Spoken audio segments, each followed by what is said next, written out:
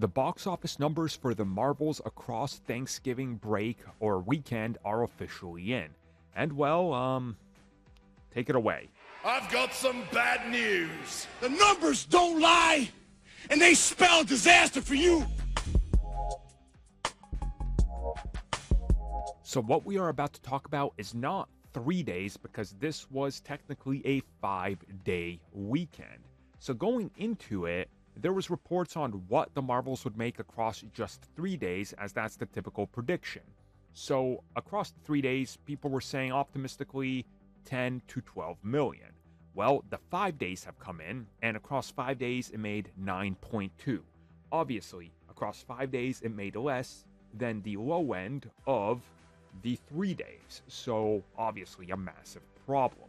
Now, in terms of this, I am to kind of look at the bigger box office elsewhere in terms of breaking everything down because I'm seeing some weird stuff out there. But what really sticks out to me here is the fact that this film, like I reported, was going to be losing a lot of theaters. Now, some people over exaggerated by saying, oh, it's going to get pulled everywhere. No, after three weeks, you typically lose about a thousand theaters. It looks like that's what happened.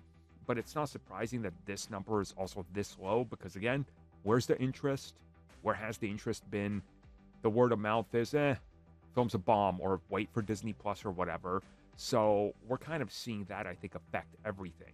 Now, with this film, there was also, I would say, still some competition there. Obviously, you had the Hunger Games, um, something in Snakes. You had Napoleon, which was new. You had Disney's Wish. I think there was a Trolls movie still. Um, Thanksgiving, which I saw last weekend, that's probably going to hold over. So we're going to see what ends up happening in terms of what happens in its fourth weekend, or in general, what happens in the next couple weeks. But I'm not going to be surprised if this thing is honestly out of most theaters in a six week run, which back in the day used to be typical, but we're in a different time now, and a lot of films have lasted longer than that. So who really knows? Um, you know, Blue Beetle was still in some theaters like four months after release somehow. So you never know. But um, I'm pretty sure and confident saying this thing is uh not recovering at all.